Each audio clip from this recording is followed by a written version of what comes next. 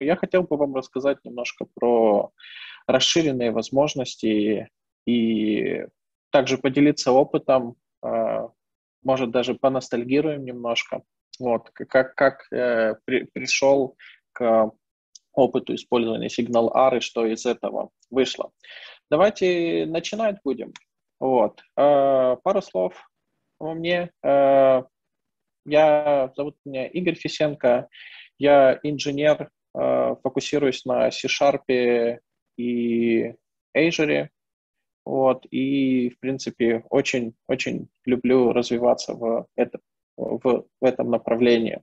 Также я являюсь Microsoft MVP. А, если нужно больше информации, какие-то ссылки на презентации, то можно найти на сайте ifysenko.com. Вот. Ну и, как вы видите, скриншот я стараюсь по максимуму загружать все, что связано с .NET. Но очень-очень мне нравится, и уже на протяжении долгих лет каждый раз я получаю удовольствие и смотрю, как развивается и эволюционирует эта технология э, и связанные с этим инструменты. А, также в последнее время э, мне, скажем так, мое хобби э, стало это армрестлинг, если кто-то там знает, это борьба на руках, вот если вы есть Э, вы находитесь во Львове, то очень рекомендую классный зал, это целая семья, вот, ну, семья в плане людей, огромная большая семья, это не просто зал, в который вы приходите и бездушно занимаетесь, да, то есть люди со специализацией, спорт можно попробовать, а, очень рекомендую, для меня это, ну, в какой-то момент даже было спасение, вот. А, как, как шутят иногда, а, дешевле, чем терапия, чем терапевт. Вот. Но давайте будем двигаться про нашу адженду и сигнал R. Я хочу рассказать вам, как сигнал R использовался не так, как мы обычно его привыкли, и не то, что нам приходит в голову. Как мы к этому вообще дошли, вот, и как потом делали с командой, и расскажу про два сервиса, которые вам могут очень сильно помочь а, упростить вашу задачу и решить проблемы, которые могут возникать. Об этом всем поговорим. И рассмотрим вообще, недавно вышел новый сервис, он еще в превью, WebAppSub, а, чем он интересен и когда его применять. Вот. А, и сразу скажу, что если вы никогда не использовали Signal Signal R то ничего страшного нету. Да, мы поговорим больше про такие 20, конечно, сценарии, но, в принципе, разобраться и понять э, будет вам легко по документации. Ну, давайте начнем. Вот. Что, что было? Да, немножко отмотаем в истории. Uh, у нас была команда людей, которая занималась а, очень довольно интересным проектом. Я сейчас на нем не работаю, но это невероятно крутой опыт. Мы делали интеграцию между двух огромных экосистем. А, правда, очень огромная известная экосистема, а, и мы делали интеграцию между клаудной версией продукта и клаудной версией продукта. И получается, что а, один наш из продуктов, одна из экосистем, имела и cloud-версию, и on-premises, да, когда вы можете себе поставить на сервер. И все отлично работало cloud-cloud версия, все классно, но начались идеи говорить, а у нас все-таки очень много он-премисис клиентов, которые используют инсталляции. Давайте сделаем это. Но мы понимаем, что нашу клаудную версию мы вообще никак не могли задеплоить. То есть, ну вот она физически была ограничение. Ну и второе, что как бы сервер-сайт, э, ну, который клиент он premises устанавливается, да, то есть он, он был написан на Java. Э, мы откладывали как можно дольше, старались не думать об этом, но потом клиент говорит, вот тут вот будет э, проводить воркшоп, тренинг, закрытый тренинг, проводит раз в год специально для, для разработчиков, пообщаться с разработчиками с продукта. Вот, то есть это э, тренинг был э, атласен, да, то есть это такой воркшоп. Вот, ну и, соответственно, говорят, давайте э, приедем туда и попробуем сделать какой-то прототип, proof of concept, разберемся, как и что э, может получиться, все-таки, может, сделаем интеграцию, может, ну, мы не знаем до конца продукт, давайте с ним разберемся. Мы такие, да, давайте, почему бы и нет. Ну и, соответственно, мы приехали, это проходило в Амстердаме, вот, и куча, куча разработчиков, куча людей, э, ни, ни, никакого, скажем так, маркетинга, все, все было именно как такой хардкор, как такой, знаете, э, хакатон, вот, ну, такая атмосфера была очень э, дружественная, вот, и, соответственно, мы приехали, начали разбираться и смотреть, что, как, что делать, вот, ну, и, в принципе, мы поняли, что это все равно нереально. Вот, ну, и все, кстати, фотографии, я то, что использую, это вот как раз э, делали на этом ивенте. Вот, ну, и мы посмотрели, сказали, нет, интегрироваться это очень сложно, это невозможно, вот, и, и зачем это вообще делать, ну, ну, его все в клауд идут и тому подобное. Но, как бы, объяснение после первого дня, что это сложно, пообщавшись с людьми, все, все как бы да, но клиент говорит, уже надо задеплоить, уже нужно заделиверить, это будет классно, это нужно, делайте. Ну, а вы знаете, как клиент говорит, нужно делать. Да, то есть нужно убегать от своих каких-то таких ограничений. Вот, сложно, но нужно пробовать. Соответственно, клиент сказал уже все, раз это невозможно, то значит Сегодня вы это не сделаете, а завтра уже задеплоите. Шутка шутками, но э, иногда челленджи нужно э, принимать.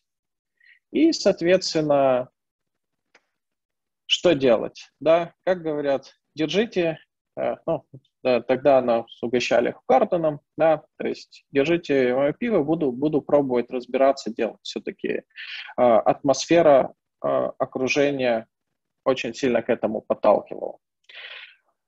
Если говорить техническим языком, да, то есть какие проблемы у нас, когда мы говорим, что нам нужно интегрировать что-то с on-premises cloud?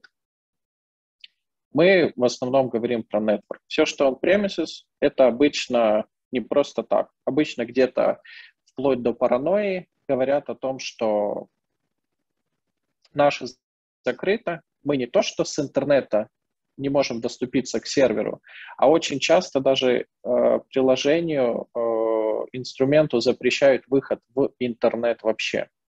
То есть это как, как в сейфе, знаете, за, закрывают и хранят, чтобы, не дай бог, не то, что там кто-то зашел с интернета, еще не дай бог, чтобы кто-то вышел в интернет. Вот. И это очень проблема. То есть есть куча разных конфигураций, настроек, возможностей. И, соответственно, для меня это был основной челлендж. Как, как это решить? Как решить это безопасность? Я не могу прийти и сказать, давайте откроем все.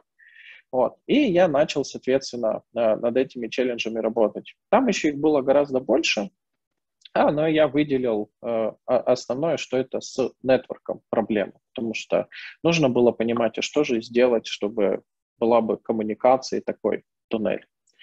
Э, сделав небольшой такой, как research, сесть, подумав, да, там, э, в Амстердаме очень хорошо думается, вот, э, Первая идея, как всегда, да, мы начинаем итеративно. Давайте мы откроем систему в интернет. Ну, наверное, не сработает. Хорошо, не сработает. Давайте настроим VPN. Да, то есть, в принципе, это вторая идея, что там думает решать. Давайте настроим VPN. VPN это классно работает, но я не знаю, кто, кто из вас любит настраивать VPN и потом это все поддерживать и как делать с тем, что у нас там какая-нибудь платформа за сервис в клауде, и это что нужно каждому клиенту настраивать VPN, а не дай бог что-то сломают, там будет беда-беда. А, потому что есть доступы к VPN. А потом, в принципе, мы, мы знаем, что есть такие вещи, как, например, uh, ngrok, да, когда вы можете локальные, да, там потом, кто использовал Kubernetes, там тоже есть такой подход, когда вы можете ну, сделать такой SSH-туннель, да, и проксировать, э, например, э, какой-то ремоут порт на, на вашу там машину и обратно. Ваш ремоут порт вы можете выставить в интернет, да, очень популярный игрок. Я такой, ну, есть такие инструменты, значит, что-то такое можно делать. Вот. И, в принципе, вы знаете, что даже на ваших корпоративных машинах, э, компьютерах вам не нужно там задумываться, как-то там порт открывается, какой-то не открывается, как это вообще работает. Но вроде бы security не нарушается, к вам не прибегают ваши админы и говорят, «А что это такое, что у тебя там открыто. Вот. А, ну, соответственно, это была идея. Сейчас, когда я делал эту презентацию, да, ну и в принципе потом, после того, как Proof of Concept, я просто исторически, э, была вещь такая, как gRPC. Ну, она, она была давно, она появилась как, скажем так, что-то не просто такое новое, а распространенное. Единственное, что для gRPC, хочу сказать, э, мы еще разберем это дальше, gRPC очень требователен в плане того, что нужно обязательно HTTP 2 вот, использовать, да, и HTTPS. Он premises очень часто вы не используете даже сертификаты, используете HTTP. Вот, соответственно, это дополнительные настройки, и это было три, может даже чуть больше э, лет назад, и, соответственно, тогда вообще не было такого тулинга, вот, прикольного, чтобы сказать, что gRPC, в принципе, можно взять технологию, потому что нам как раз-то нужно было сделать этот remote procedure uh, call.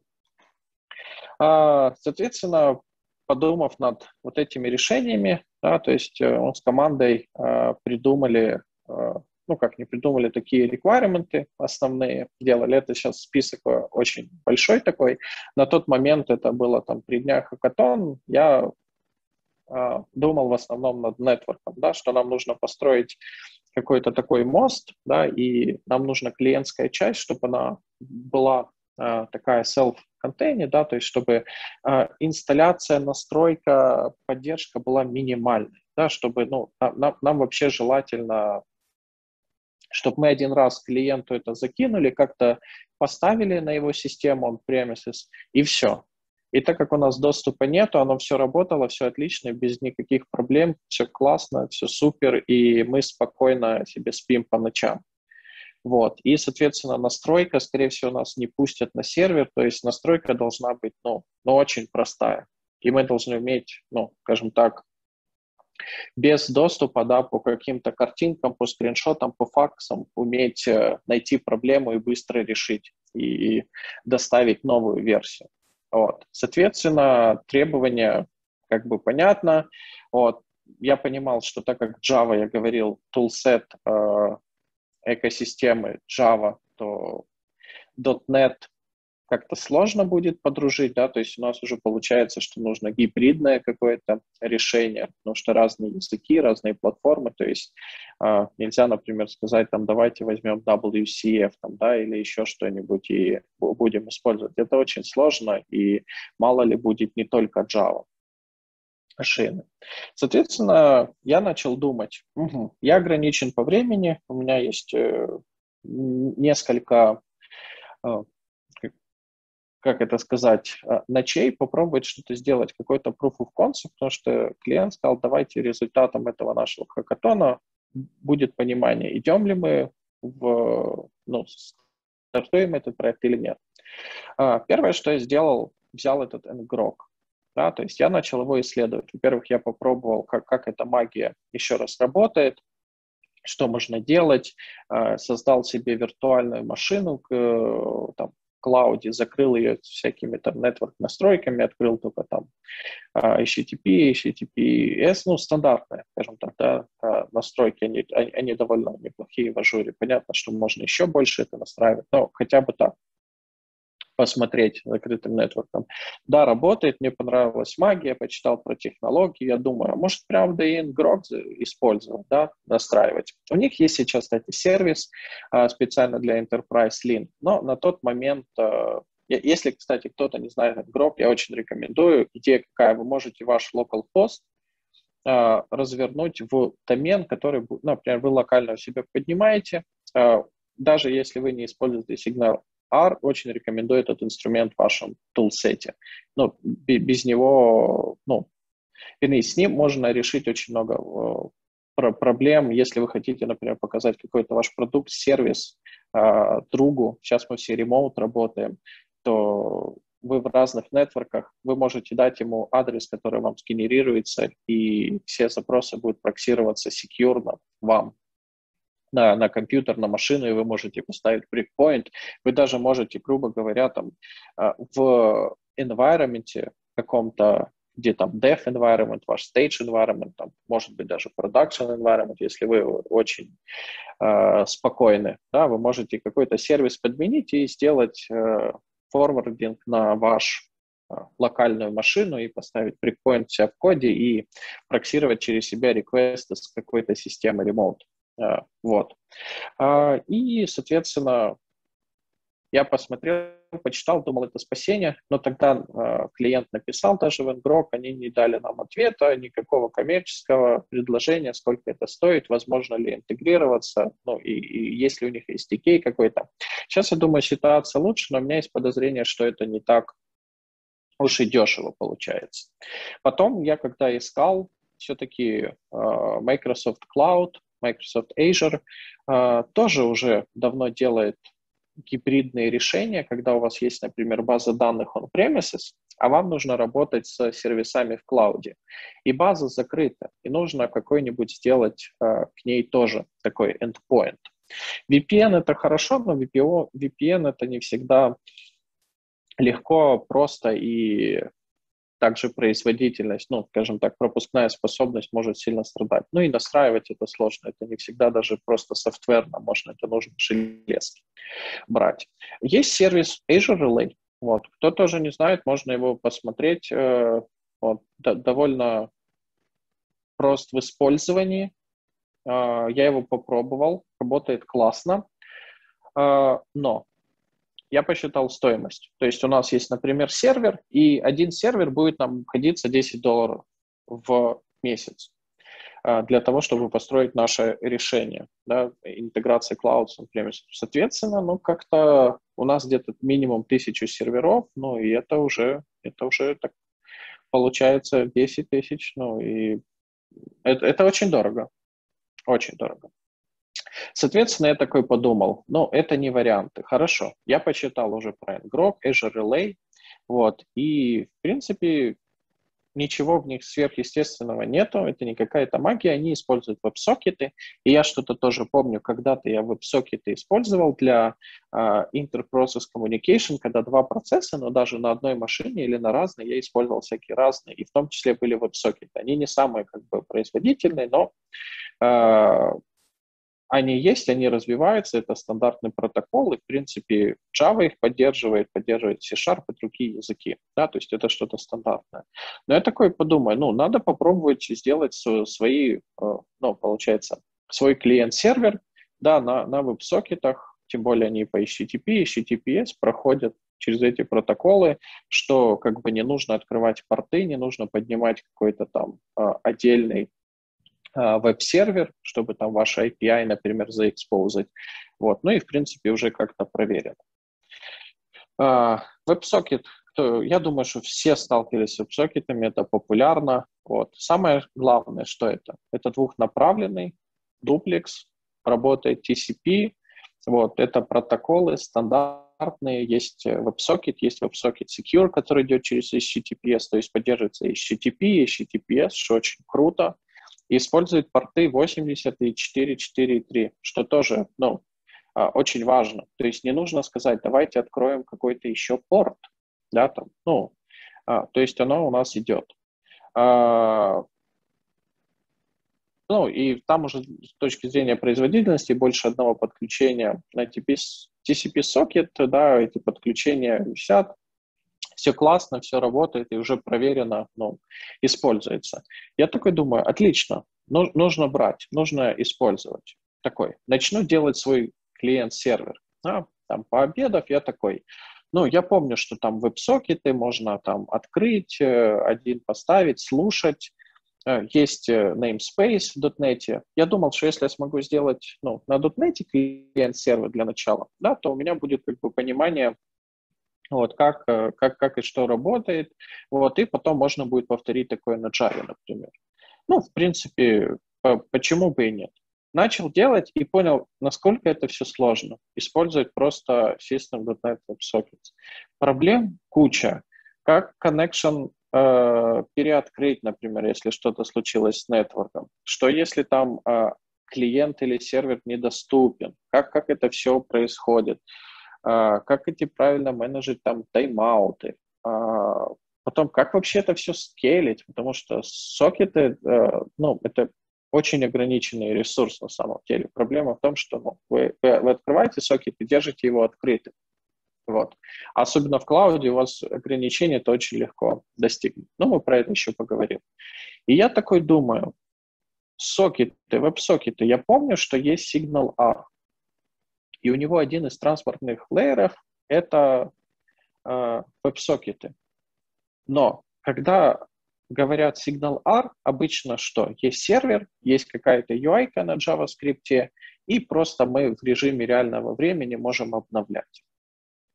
Вот. И обычно это сразу у всех идет такой сценарий для этого. А я такой думаю, а если Signal R вообще развернуть и использовать вот эту весь фреймворк SDK и просто построить э, не, скажем так, ну, сервер-то-сервер коммуникация. Вот. А, потому что очень удобно, что SignalR, если у вас, например, там WebSocket не работает, то он будет использовать long polling, да, например, переключаться, или будет использовать технологию сервер uh, send events, да, то есть это, в принципе, стандартный протокол, и он сам выбирает, переключается. Но у меня есть, в принципе, веб-сокеты, которые мне подходят. Почему не взять и, как бы, как говорят, с пушки по воробьям и не попробовать? Все-таки proof of concept, там, прототип нужно быстро сделать, Возьму-ка я Signal R э, и сделаю сервер-то-сервер. Вот. Я посмотрел сразу, что клиент SDK поддерживает, ну, JavaScript понятно, да, там .NET, есть Java, что нужно было, что очень классно. Вот Swift, Python, C++, если там когда-то понадобится, думаю, о, это очень классно. Есть SDK, они решают все эти проблемы, все хендлят. Когда я сейчас говорю про Signal R, э, то я говорю про э, Signal R, который вот Core. Есть две версии ASP.NET. Signal R э, — это тот, который старенький, давно существует, но сейчас его переписали, и R, ну, Core, который, ну, он, он современный, он сделан с нуля, он, он более правильный и описанный. Вот. И, соответственно, из плюсов сразу, ну, когда берешь фреймворк, да, то ты там читаешь, что мы даем вам сразу возможность э, расширения. Это очень отлично, да, то есть, например, транспортный протокол э, позволяет вам использовать различные, там, например, веб-сокеты, э, server-sent events, да, или long polling, то есть есть всегда fallback. И вы можете написать э, свой э, транспортный протокол, да, соответственно, коммуникации, взаимодействия. Мне веб-сокеты подходили, но сама идея мне очень понравилась фоллбека. Ну, это, это очень, очень круто, то есть для меня это уже сделано.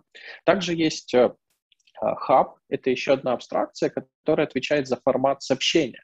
Потому что э, мы определяемся с протоколом, протоколы могут быть разные, да, и нам нужно еще, чтобы сообщения наши ходили. И формат сообщений тоже может быть разный.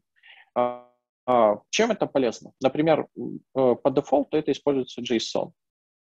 И это, в принципе, отлично, и вы можете дебажить это все, смотреть, проксировать вашими инструментами, вот, что очень удобно. Вот. Ну, то есть э, ни, ни, никаких таких проблем у вас э, с, с этим нет.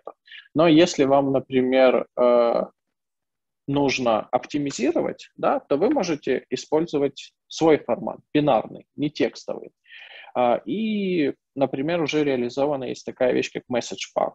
И так как это все уже используется уровень абстракции, вы это легко подключаете, и у вас сразу, не меняя ничего в вашем коде, те же все сообщения команды начинают ходить в другом формате, оптимизированно. Но это, это очень классно, когда вы просто берете этот SDK и используете, и уже все есть из коробки. Вот. Потом я подумал, хорошо, но у нас будет тысячу клиентов. Да, мы, например, коннектимся к нашему клауду. Вот, у нас есть приложение. Я могу их скейлить, да, и мне их нужно будет скейлить. Вот. Эти сокеты открывать, потому что на самом деле сокетов очень ограничено в зависимости от сервера. И, например, вы можете почитать Stack Overflow, а, у них это была огромнейшая проблема, как правильно скейлить а, открытые веб-сокеты, соединения. Вот. Но э, э, это такая задача, которую нужно уметь решать. Я такой подумал, хорошо, если я сам бы открывал WebSocket и все то это делал, а, есть у меня один сервер, я открыл connection. Приходит ко мне другой клиент, а я, например, а, сделал новый инстанс своего приложения. Вот, ну, то он попадет на, на другой сервер. Вот, да, через лот-балансер его может отправить на другой сервер. Но хорошо, может быть такая бы, э, ситуация. Э, мы знаем, что есть такие как понятия sticky session, липкие сессии, да, то есть когда вы э, отправляете запрос, лот-балансер первый раз вас отправляет, например, на сервер номер три, и все ваши последующие запросы он будет отправлять на сервер 3. И, в принципе, для нашего сценария этого подходило, потому что у нас в основном один клиент — это одна инсталляция продукта инстанса, может работать с каким-то там э, сервером одним. Но какая тут есть э, проблема? Да? Наверное, если вы используете сигнал R в задачах отличных, то вы бы, например, хотели разослать всем э, клиентам какое-то уведомление, да, например, или отправить какой-то там дополнительный, не знаю, ответ или запрос. И в текущей ситуации вы можете видеть на картинке, что получается, что у нас есть э, сервер 1, который обслуживает клиент 1 и 2, но этот сервер ничего не знает о клиенте 4 и клиенте 5. Все, он, он знает, что у него только два клиента. И это, соответственно, э, проблема. А если, например, у нас сервера создаются динамически, добавляются и убираются, да, стики сессии тут не помогут. А, эта проблема тоже отлично решена в уже Signal R. То есть для вас эту решить проблему, это нужно будет сделать одну строчку, добавить в коде, connection строку к Redis, например, ну и, соответственно, иметь этот Redis сервер. То есть это очень удобно, что у вас будет такой каталог, хранилища, где Signal R сам будет понимать, сколько у него клиентов, где какие клиенты, на каком сервере обслуживаются, и вот эти инстансы серверов Signal R э, будут сами между собой коммуницировать и взаимодействовать. Это, это очень-очень удобно. То есть вы получаете не просто какой-то фреймворк решения, да, а это решает целую мою архитектурную проблему и задачу, а как я все собираюсь это скелить, потому что это очень важно. Но у нас э, планировалось, ну, мы понимали, что клиентов будет много. Вот, ну, то есть тут, когда мы говорим, что тысячи клиентов, и мы говорим, что даже на одного будет открываться одно socket connection, то в рамках клауда его limitation, ну, то это есть, ну, скажем так, есть проблемы. И, в принципе, если наш application, один инстанс справляется с таким количеством, у нас нету каких-то сложных операций, то зачем нам платить больше и просто скейлить целые инстансы, да, на какие-то мелкие разбивать? Нам, no, нам это не особо нужно. А, но если вашей задаче это нужно, вы можете это легко скейлить, и вы можете это в любой момент подключить. Плюс тоже, вам не нужно никаких использовать дополнительных, э, скажем так, настроек, что-то заменять. Вы просто берете NuGet Package, скачиваете, вот и под, подключаете. Помимо Redis, это то, что поддерживается Microsoft официально, но есть еще third-party провайдеры, там, которые э, ну, могут тоже обеспечить этот backplane. Вот, вы, вы, в принципе, можете сделать.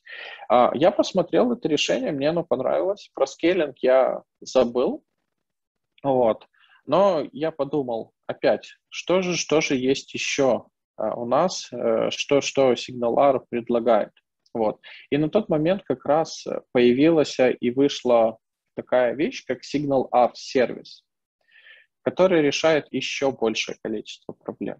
То есть у вас есть платформа за сервис, который, которому вы просто подключаете всех ваших клиентов. То есть у вас отпадает вот эта проблема с бэкплейном, вот. И ваше приложение уже взаимодействует тоже. То есть у вас появляется посредник, с которым вы общаетесь, коммуницируете, и он э, решает проблему вот этих поддержания connection ов, э, взаимодействия с клиентами, scaling, открытие там новых connection ов, закрытие, вот, и все. И дальше он делает вот этот полностью offload, и вы можете взаимодействовать с вашим э, приложением, ну, в вашем приложении довольно легко.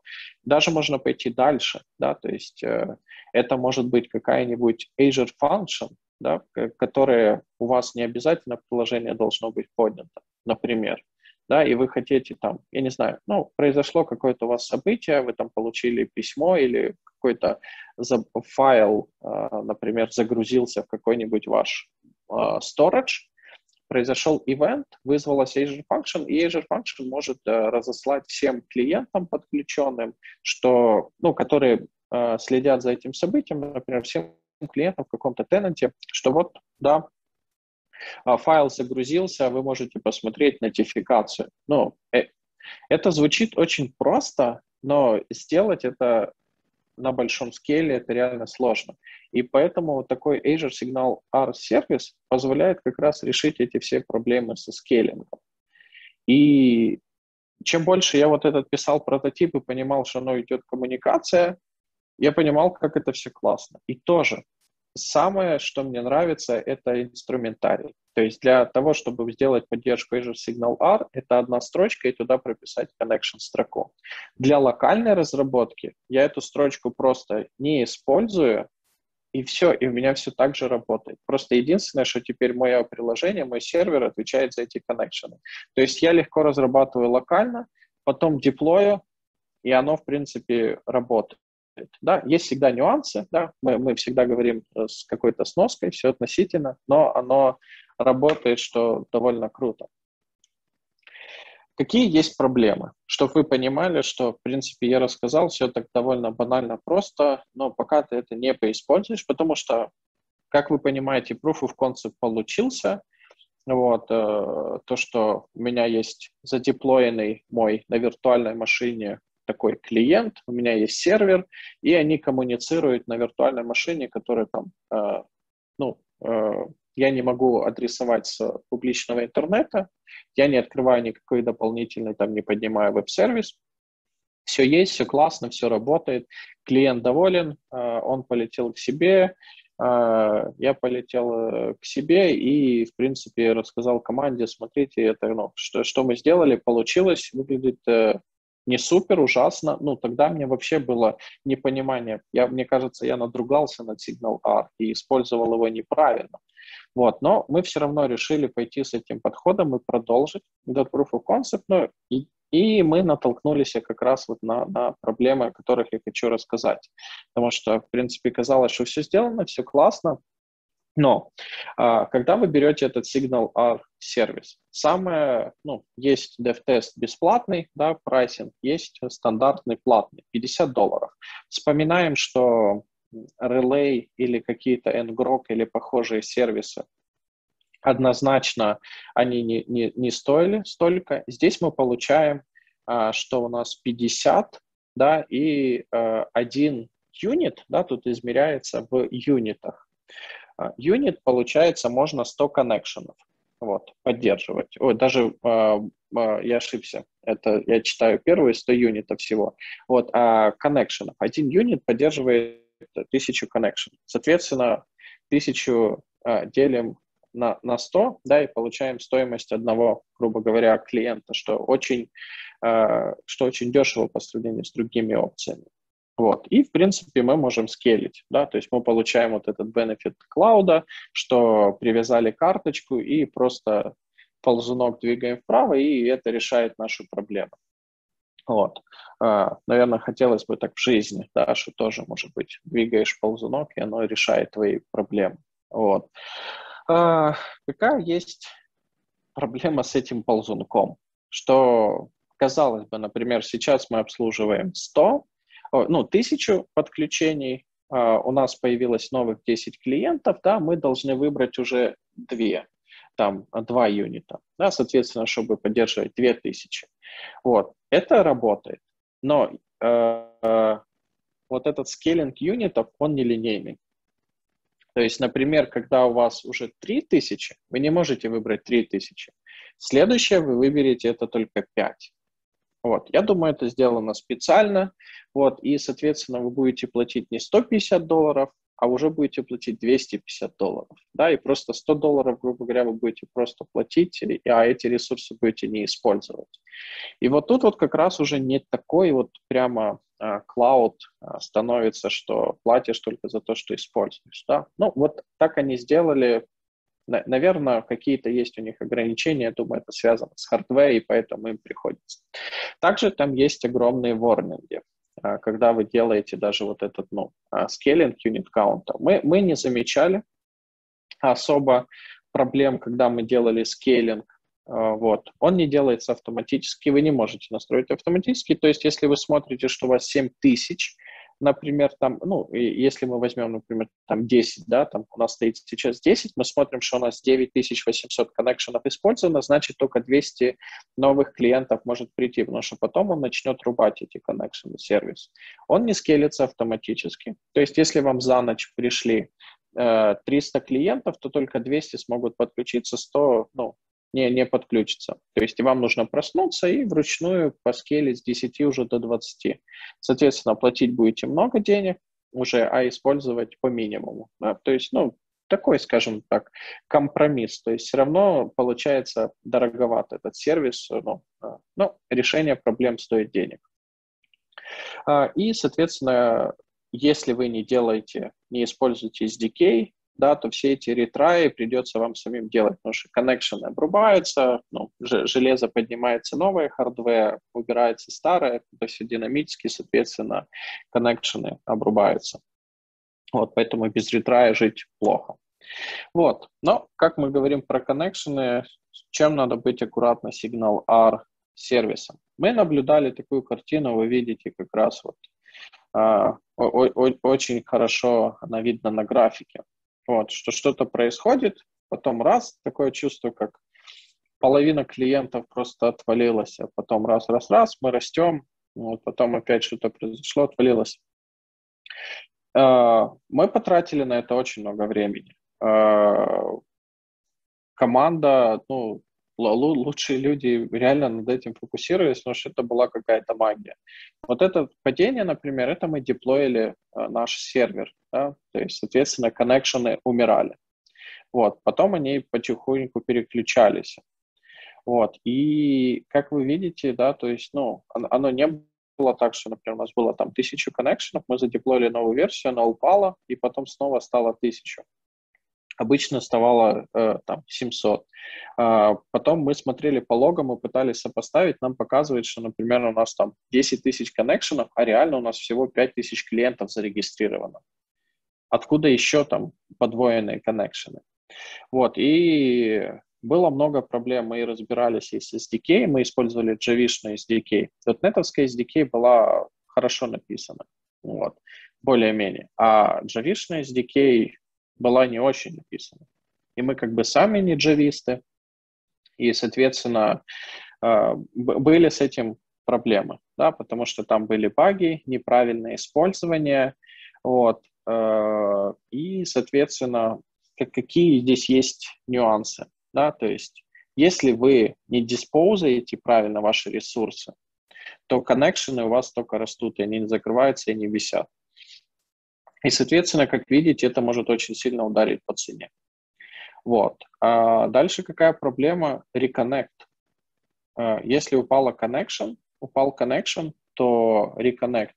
Э, сначала его даже в SDK не было, приходилось делать свой reconnect. И это выглядело очень ужасно, и мне ну, какой-то момент, пока не было сделано в SDK этого, то приходилось а, как раз иногда делать перезагрузку, чтобы кинуть вот эти умершие коннекшены, которые, ну, никуда не ведут, они, они без, без, бесполезны, вот. Ну и, соответственно, это, это такая беда, вот. А,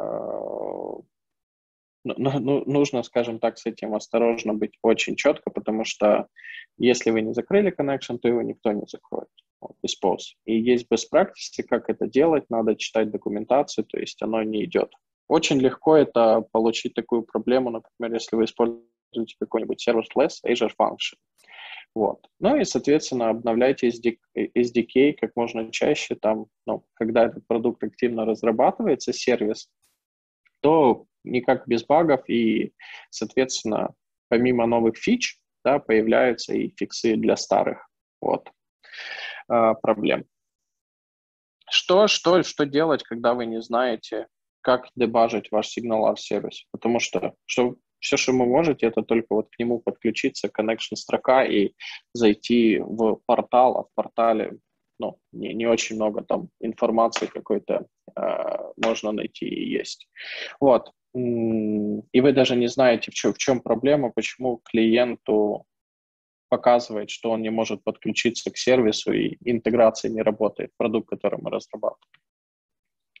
Э, вы можете использовать сервис health, да, то есть у вас вот есть instance name э, ваш, который вы создаете в портале, и к нему идет по public endpoint, который health, и вы можете получать этот health, если, например, что-то идет не так с вашим сервисом, мониторить, потому что это реальная проблема, да, это ваш, ну, сердце вашей системы интеграции, то есть если он упадет, этот сервис, то, соответственно, все, все коннекшены обрубятся и не будет работать.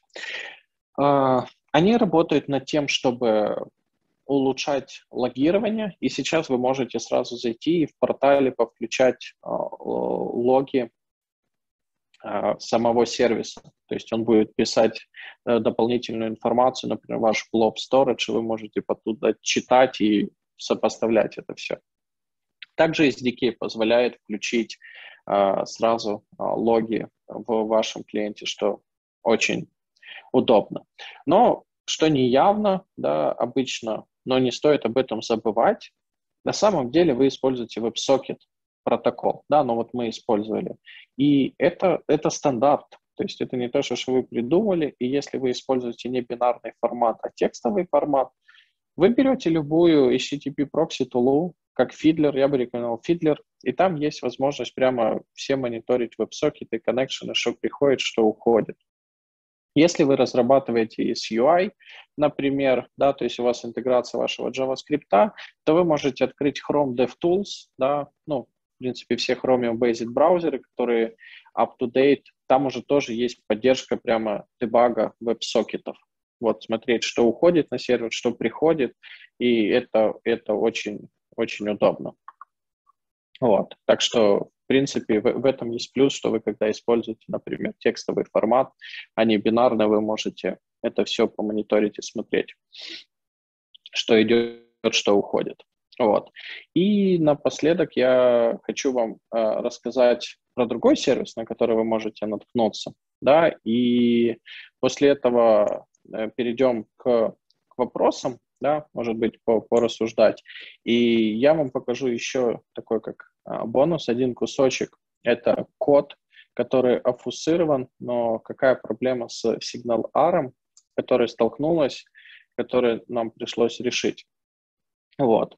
WebSub, WebPubSub uh, запустили uh, на базе Signal R, Azure Signal R сервиса, но идея такая, что здесь именно чистые веб-сокеты.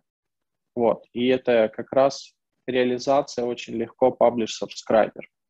А, вы получаете все бенефиты Azure Signal R с точки зрения WebSocket Connection, хендинга и тому подобное, но это чистые веб-сокеты. То есть, например, у вас написан, э, написан сервер-сайт, а, вы можете там использовать SDK, а можете просто открыть напрямую веб-сокет, как, например, в JavaScript есть API, вы открываете WebSocket, и все, и вы начинаете слушать его, писать, читать.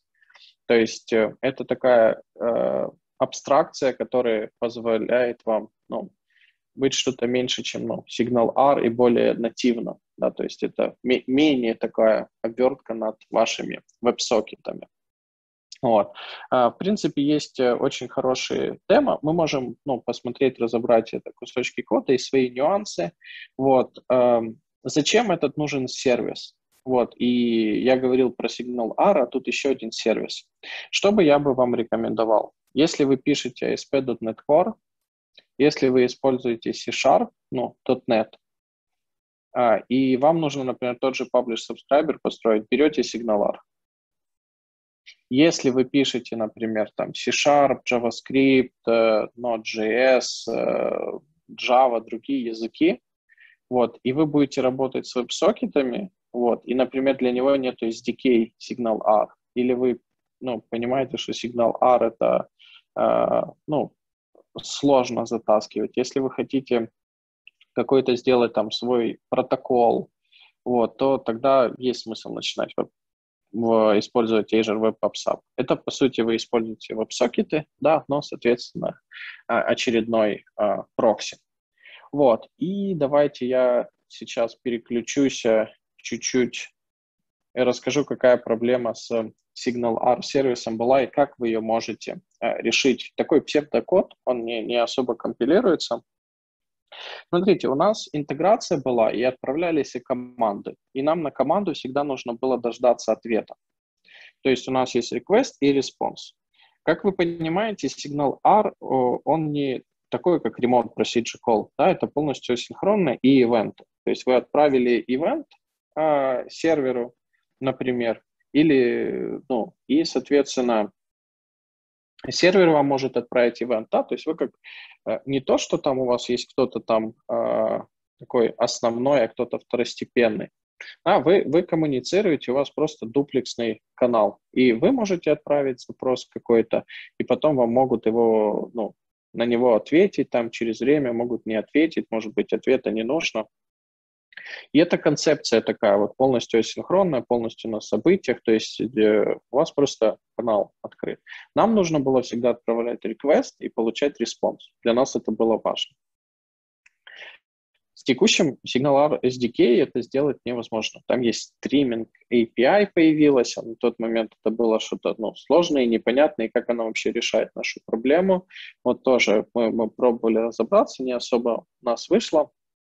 И SDK тогда был не, не такой хороший, вот как, как сейчас. Вот. И что мы сделали?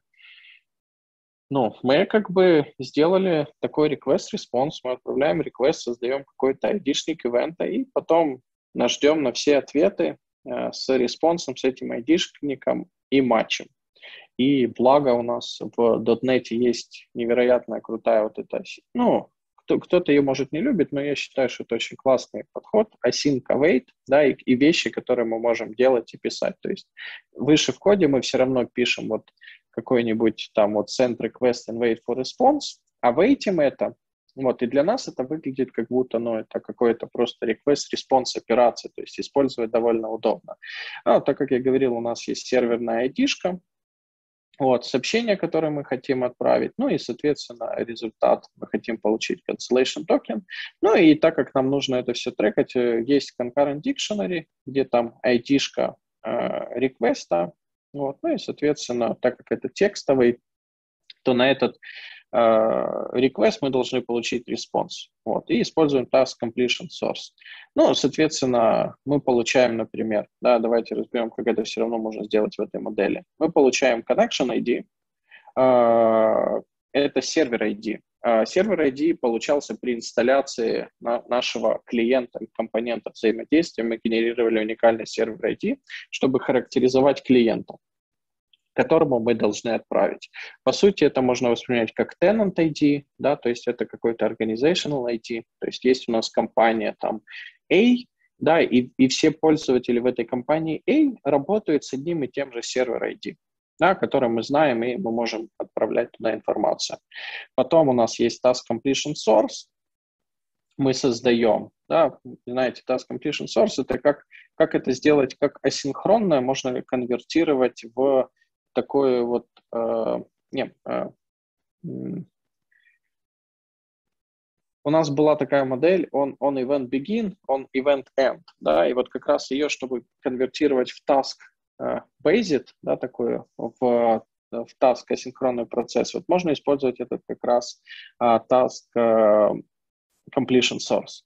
Вот, ну и мы для каждого request а создаем новый identifier, а, добавляем, говорим, что вот а, мы, мы, мы теперь отправим такой request, да, и когда-то нам должен прийти response а, э, с таким идентифайером, мы будем знать. Ну и, соответственно, дальше там Я думаю, все знакомы, что мы клиенты uh, connection ID, который мы храним у себя в базе, отправляем наше сообщение, нашу команду make request, передаем дополнительную информацию и сообщение, которое мы отправляем.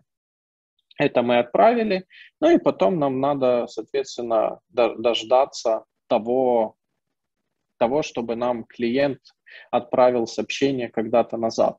Но мы не можем ждать вечно, поэтому мы используем э, сам cancellation, да, выставляем, ну и, соответственно, объединяем два токена, потому что у нас еще вверху скоп там э, передаем. Это все детали реализации, да, но так как это, э, это не обязательно для, для демо, но так как это рабочий код, да, лишнее я там точно повыкидывал всякие логирования, потому что мы этими логами, ну, просто старались все обмазать, потому что такую вещь дебажить очень сложно. Написать легко, вот понять, в чем проблема, дебажить ну, нужно очень много логов, поэтому в основном вот здесь, вот здесь все пустые места, это было а, логирование. Да, мы создаем delay, потом, соответственно, если у нас там нужно не забыть задиспоузать, cancel, вот, э, если у нас э, наш original task вернул, вернул response, э, наш timeout cancellation, кстати, очень часто забывают, если делает э, такую вот операцию, да, когда создают delay, вот, но то, то надо не забывать этот delay task тоже cancel ить, потому что они потом висят, ну, и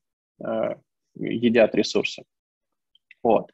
Ну и, соответственно, наш response, что мы получили true, и наше сообщение, вот нашего а, таска, который мы а, создали, объединили. Ну и, соответственно, в любом случае мы а, упираемся с этого а, словаря, чтобы тоже не, не, не держать а, референсы. Ну и вот тут вот мы подписаны, что когда мы получаем а, результат, ответ от нашего сигналара, ну, вообще, когда от нашего клиента ну, приходит какой-то результат, то есть вы понимаете, да, мы им там, например, 10 э, сообщений отправили, и все, и мы просто занесли все словарь и ждем, когда кто-нибудь ответит. И на любое сообщение, которое приходит нам от этого клиента, мы смотрим, ага, а вот это сообщение мы как-то вам там отправляли, вот такое ID, ага, это относится к этому. Тогда мы э, этой task е установим, что вот response, да, вот это сообщение. То есть здесь такая, ну, модель довольно сложная, но, в принципе, мы э, конвертируем достаточно простой э, API метод такой более высокого уровня, который удобно использовать. То есть у нас дальше в коде все идут, что send request and wait for response, и все. Или мы там по тайм-ауту э, падаем, вот, или мы получаем этот response и что-то с этой командой делаем. Отправили команду, например, connect, она нам присылает там success. Мы такие, о, success. Или мы отправляем, верни мне все записи там по фильтру для этого пользователя и оно делает там э, все на сервере, получает нужную информацию и возвращает нам нужную информацию, мы э, с ней уже работаем а, дальше. Вот. То есть это вот а, такая вот идея. А, можно ли это сделать на WebAppSAP? В принципе, то же самое логику можно сделать, вот. но я бы все равно использовал а, Signal, R, потому что это все-таки а, SDK, который, например, имеет fallback, который может настраиваться. Вот. Я могу легко подключить message pack. Посмотрим, как будет PubSub развиваться. Вот. Но если вы делаете, например, просто там интеграцию с вашим а, UI а, каким-нибудь, да, то вы тоже можете использовать. Но тут главное понимать, что четкий фокус на WebSocket API. Вот. Но зато и, из плюсов, если мы посмотрим, э, например, вот тут вот исходный код, эти ссылки все, все, все будут.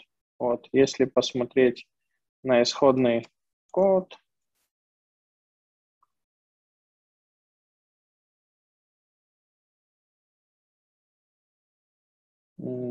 оно отдельно тут э, JavaScript файл. Давайте я какой-нибудь вот этот открою. Просто показать, что когда WebPubSub используется, search и чуть сделаю больше. основная идея, что вы используете как раз все, что я описывал, вот эти, вы решаете проблемы с помощью веб-апсаба с точки зрения скейлинга и тому подобное, и вы не думаете о вашем ну, транспортном скейлинге, о, о всех этих вещах протокола, вы просто знаете, что вот у меня будет endpoint, который я верну, и WebSocket. Вот New WebSocket это, ну, это не какой-то там uh, объект, что вы скачиваете какой-то там SDK и тому подобное. Вы можете скачать для веб uh, PubSub Azure свой SDK, но вам это ну, не нужно. Вы используете стандартный WebSocket, стандартные инструменты, которые у вас есть в, уже в, вашем языке реализованы. То же самое я могу на C-Sharp открыть а, тоже WebSocket и начинать с ним работать. То есть это такая идея, что, например, вы сказали, вот мы открываем такое соединение по WebSocket, а, такой-то у нас протокол взаимодействия, все и, в принципе, работаем. То есть не надо никакой SDK скачивать и тому подобное. Это очень удобно, если вы, например, там,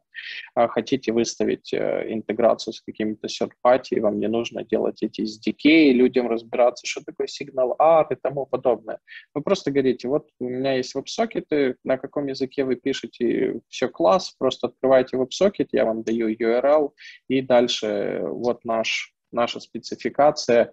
Я ожидаю, вот, э, например, формат вот, вот такой, да, там, то есть э, с, с, сообщений, там, давайте какой-нибудь э, смотрим. Вот, да, например, что договариваемся, что у нас формат такой, да, я там отправляю, например, тип команды, группа, куда подключиться, ну и, например, там э, какой-нибудь аккаунт ID, вот. И, и, и, в принципе, да, и там я знаю, что если я получаю там информацию, например, и ну, вы, вы, скажем, сами дефайните свой протокол, ну или используйте существующий а, протокол, который WebPubSub, он один предлагает протокол а, ну, для построения. Кстати, вот он тут и описан, да, что тип команды, там, например, э, группа, аккаунт ID есть в документации. Ну и даже когда вы, если вы работали с Azure Signal Art сервисом, да, то да, довольно легко понять, это сигнал R-сервис, да, создан, то когда вы открываете WebPubSub сервис, вы получаете все то же самое, за исключением там э, не, не, незначительных отличий. Даже те же самые проблемы со скейлингом, да, если мы посмотрим, но ну, если мы выберем э, стандартный, да, там, ну, то, то же самое ограничение, всего 100 юнитов, да, по 1000 коннекшенов, это значит 100 тысяч коннекшенов, ну, чуть дешевле, 100 тысяч коннекшенов, э, вот, которые э, вы можете максимум э, ну, сделать с одного инстанса, ну, с одного сервиса, да, такого ресурса в Azure.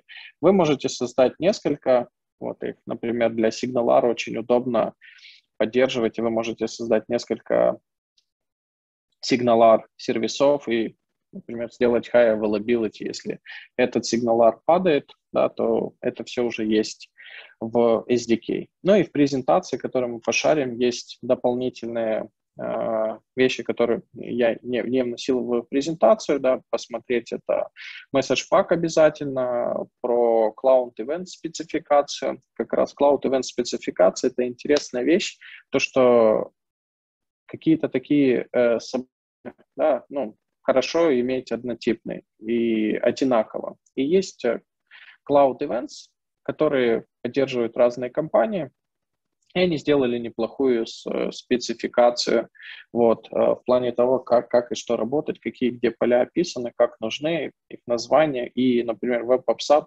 делает реализацию поддержки этих Cloud Events, то есть что стандартизация небольшая. Signal R что Core, что Azure Service очень хорошо описан на GitHub. Я тоже Э, ссылки прикладывая. Я не хотел тратить время на то, что вы можете э, почитать и посмотреть, если вы ни разу не запускали Signal, Signal R, э, например, ну, Azure Signal R, как, как его запустить, подключить. Это одна строчка, и есть это прямо в документации. Ну, очень удобно. Нужно указать к, строку подключения. И очень интересная вещь, если вы не знаете, подходит вам сигналар или нет для, для ваших request респонсов, да, и для вашей пропускной способности. Есть бенчмарк тула, тоже на, написанный, поддерживается Microsoft, который вы можете настроить, запустить э, на, на, на вашем сценарии, посмотреть, что, что это будет, сколько вам нужно сервисов, а можете ли вы получить ту необходимую, там, например, latency, и ну, подходит оно вам, скажем так, и, или нет. Вот, и, в принципе, у меня все, и я думаю, что время переходить к вопросам, которые у нас. Так, починається вже питання у чаті. Так, тільки я попрошу зачитуй, будь ласка, і вголос, щоб на відео теж збереглося. Да. Угу, так, это у нас в чаті Q&A сейчас. Чатик, я так. І, друзі, якщо хтось хоче, щоб я увімкнула мікрофон, натискайте Raise Hand.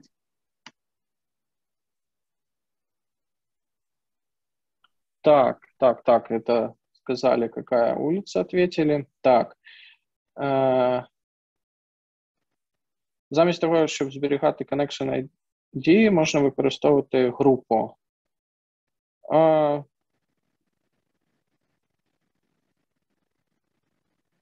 я думаю, это комментарий в том, где был сервер Connection ID. Вот. Или это, наверное, был комментарий Connection ID, который э, имеет отношение к тому, когда мы request делали и response. Вот. О, э, Александр э, руку поднял, мож, можно размьютить. Александр, добро пожаловать.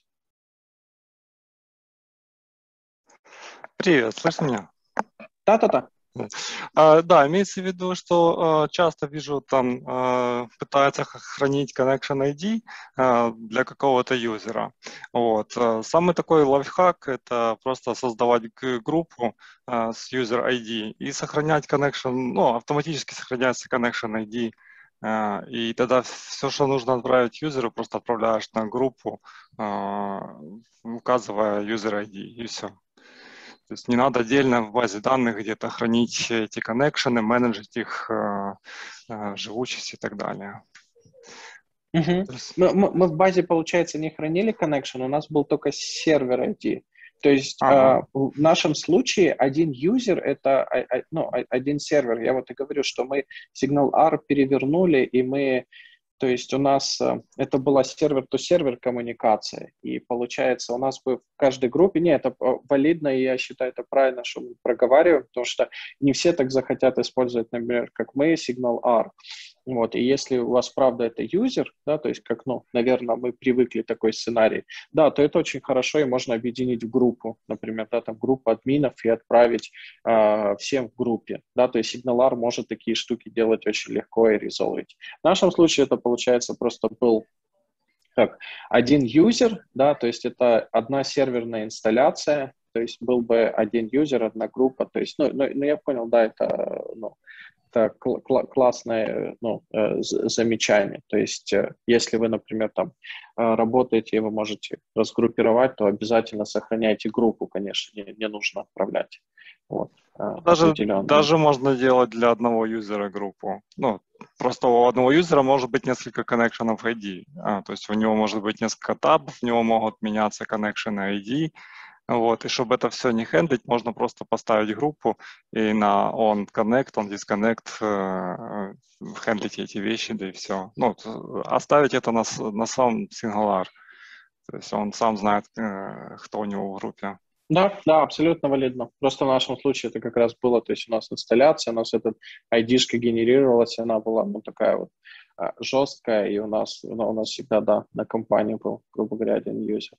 Вот, и тут как раз получается а, авторизация хаба Signal R від uh, Azure Signal R, да? Так, таке ще наступне питання, питання було, так, Олександр? Да, да, тоже у меня было. Ну, с э, обычным сигналом работал плотно, а вот с Azure Signalar не приходилось. Вот. Меня чисто интересует вопрос вот по, по авторизации. А, наверняка есть какая-то заморочка. А, да, оно, оно получается, что, э, что происходит, да, если мы э, отмотаем сейчас, мы экран еще видно, вот, вот сюда отмотаем. Э, у Microsoft есть документация, как, как происходит авторизация, но какая здесь идея, да, то есть когда клиент э, к нам приходит и подключает к нашему предложению, говорит, я вот хочу открыть connection, да, то мы ему возвращаем URL с токеном и URL для подключения к этому сервису Azure Signal R. То есть, получается, клиент к Azure Signal R коннектится по Uh, ну, как раз вот с, с, этим токеном. То есть просто так вы в этот сигналар не сможете Azure uh, получить. И вот middleware, который отвечает за вот эту интеграцию с Azure Signal App сервисом, она как раз и сделает вот этот редирект. А ваше приложение работает как, как, как, как и раньше, да, то есть, ну, тут, тут добавляется дополнительно только вот необходимость в том, чтобы ваше приложение и Azure Signal R сервис работали с этим токеном. Там вот возвращается. Я думаю, что я даже, у меня тут есть браузер, Azure, Signal, uh, R, сервис. Не-не-не. Это просто вынес. Так, наверное, было то.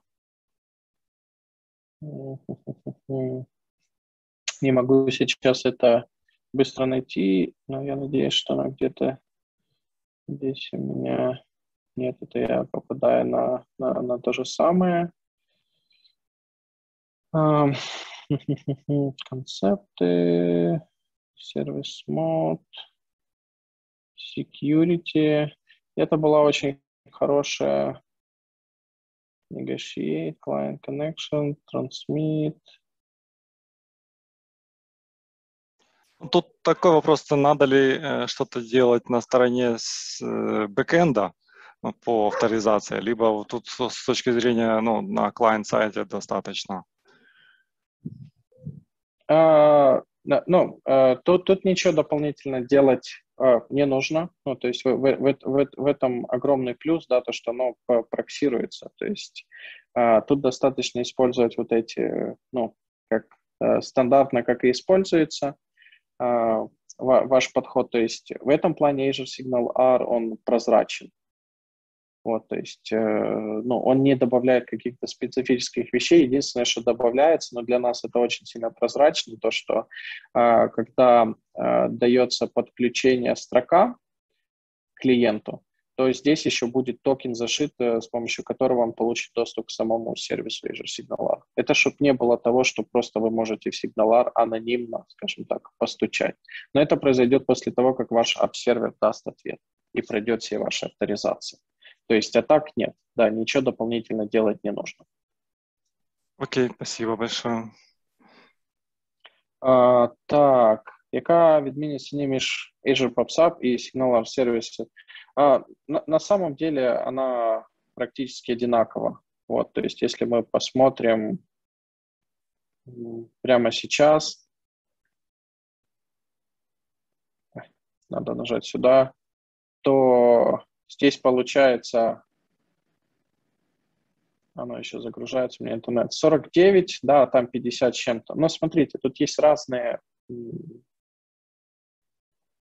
Технологически это все вокруг веб-сокетов, вот, но здесь есть разные ограничения. Да, если мы в Signalar говорим про месседжи, да, то тут э, они уже говорят про килобайты, да, сколько там included outbound у вас есть. Connection все одинаково, это можно сравнивать.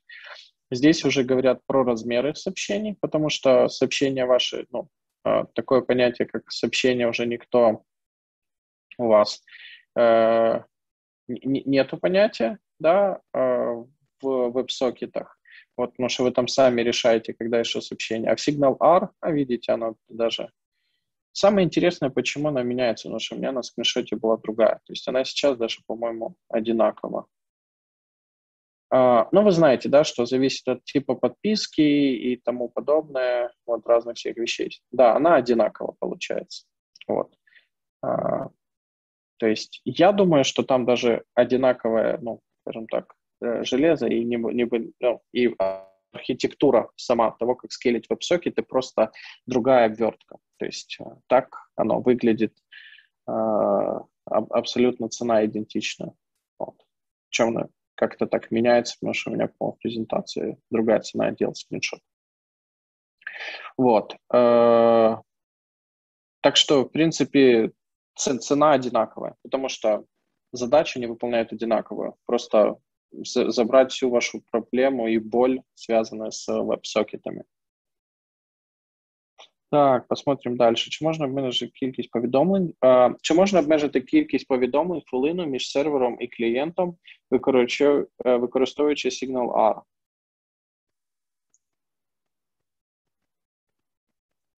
Стандартного решения нету, насколько я знаю. А, и вам придется свою логику реализовывать, свою писать, чтобы ограничивать. Потому что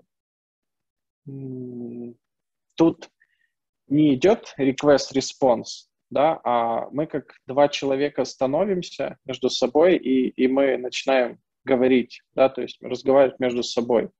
И причем на самом деле вы, вы можете даже это там не слушать, а говорить в ответ, да, и вы просто так фразами перекидываетесь, да, и скажем так, await у себя и пытаетесь сопоставить, да, но на самом деле вы можете одновременно говорить, кто-то может не говорить, даже не слушать вас, но вы будете продолжать говорить. И я тут не уверен, что это э, правильный подход, если в плане чего-то ограничивать. Да, можно, ну, в зависимости от задач, может, я неправильно понял, да, можно сказать, что мы там не принимаем больше сообщений, вот, ну, но, но это придется вам, вам самим делать. Если какой-то сротлинг делать, то, ну, то, то это, наверное, немножко, немножко другое.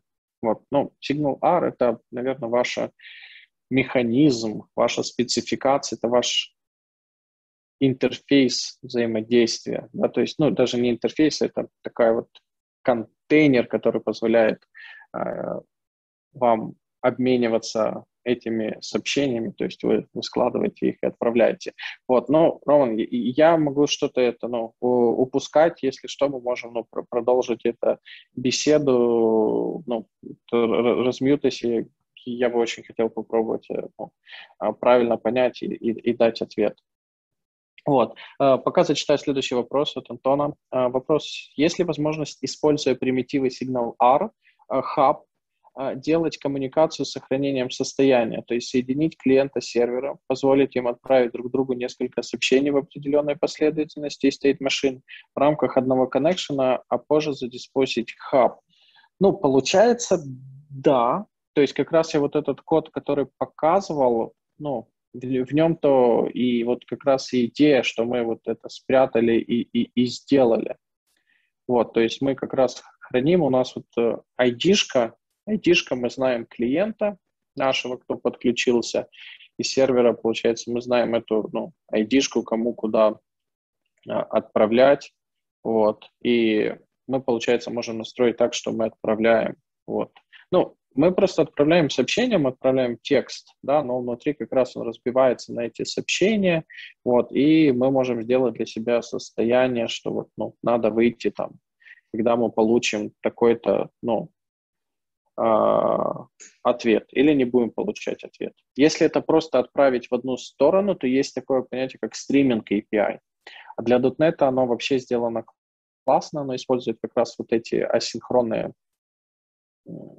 энумераторы, то есть вы, вы просто легко делаете await, то есть это даже уже, я сейчас, э, отвечая на вопрос, понял, что я все пытаюсь к тому кастомному решению э, отвести. Э, если просто нужно стримить данные какие-то, то для этого уже есть стриминг API, оно есть в SDK, и оно оптимально, оно круче, и оно лучше, и ну, производительно, и не надо писать самому. То есть вы говорите кому, и просто будете стримать данные, вот, то есть посмотрите в сторону стриминг API, э, вот, выглядит это то, что э, как раз нужно вам. Вот. И вопрос, связанный с предыдущим. Если сигнал так делать не получится, то какова обычно транзитивная, если я ничего не путаю. Если какой-то фреймворк... А, я так понимаю, состояние хранить за хабом, ну, тогда ваше состояние нужно вынести за хаб. Я теперь, мне кажется, более понял уточнение. Вот то тогда надо состояние вынести а, за, за хаб и, и, и хранить там. Вот. Это, это получается так. Вот. Фреймворк — настройка сигнала, который делает такие, такие вещи. Вот. Тут, тут у меня я немножко э, чувствую, не, не, недопонимаю, что вопрос э, если состояние, еще раз прочитаю, позволит нам правильное сообщение по последовательности, так? А нам нужно делать коммуникацию с сохранением состояния. Ну, сейчас мне это выглядит, что вам нужно просто это состояние хранить, ну, это ваша какая-то бизнес-логика, и вам это состояние все-таки нужно где-то хранить. У вас должно быть хранилище это состояние. А, в зависимости от перехода вы, вы всегда можете ну, вызывать, получать этот хаб. Ну, мы, мы, мы, по сути, то же самое делали в на, нашем случае. Да? То есть у нас какое-то было состояние, мы переходили с одного в, в другое. Да? Мы всегда этот сервер IT connection э, передавали, то есть это может быть, например, там, не знаю, домен какой-то, да, там, а пользователя в нашем случае, мы по домену пользователя ну, например, берем его user ID да, с нашего AD, и домен пользователя мы всегда могли транслировать в сервер, э, ну, в connection ID. Да, вот по серверу мы знали, что для всех этих доменов вот такой вот а, сервер, такой клиент нас слушает. И мы как раз отправляли вот в состояние, и вот тут мы как раз этот хаб передавали, и хаб нам нужен только был как раз для того, чтобы отправить сообщение, получить, и он потом сам ну, диспоузится, потому что мы его через DI подключаем. Вот, то есть, ну, это можно точно. Да, вот, ну, самому, конечно, это делать. Вот. Мне кажется, я тут э, э, разбил вопрос на две, поэтому два направления, стриминг API и еще вот, ну, э, то, что имеет отношение все-таки к состоянию, потому что у нас как раз это и была такая машина состояний, в которой мы переходим с одного в другое в зависимости от, от того, что делает пользователь. Так, ой, это презентацію, є в мене курсор. От. Можна використовувати Redis замість Azure Signal для зберігання коннекшенів. Это немножко разные вещи. Azure Signal R, он это не просто сохранение коннекшенов. Azure Signal R — это целый сервис, это хардвер, это э, физическое hardware, который поднимается для того, чтобы manage ить ваши connection ы. Веб-сокеты. Вот, то есть, э, смотрите, э, вы поднимаете один app service, у вас ограничение 100 сокетов. Вот. Вам нужно 1000 клиентов. Значит, вам нужно поднять еще 10 app service ов. Это дорого и вы их не будете юзать, а просто поднимать их ради connection ов, но это бессмысленно, ну, не оптимально, скажем так. А, и для этого приходит сервис, который не делает никакой логики, но выставляет для вас прокси и просто отвечает за вот эти коннекшены, просто хардверно за эти коннекшены, чтобы держать, открыть эти сокеты и, и просто коммуницировать вами. То есть, а также вы используете одно приложение, а 10 тысяч коннекшенов вы держите на специальном для этого а, железе. То есть это немножко разные вещи. А Redis тут использовался для того, чтобы как раз шарить коннекшены ID а, для, для, всех сервис, э, для всех серверов. То есть когда вы используете Azure а, Azure uh, Signal R сервис, вам не нужен уже Redis. Вот. А, но, например, вы не можете использовать Azure Signal R on-premises.